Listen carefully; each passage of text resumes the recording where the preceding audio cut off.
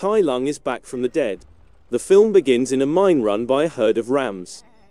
One of them is confronted by the horrific sight of the long dead Tai Lung, Ian McShane. He attacks and destroys the mine, causing the rams to retreat.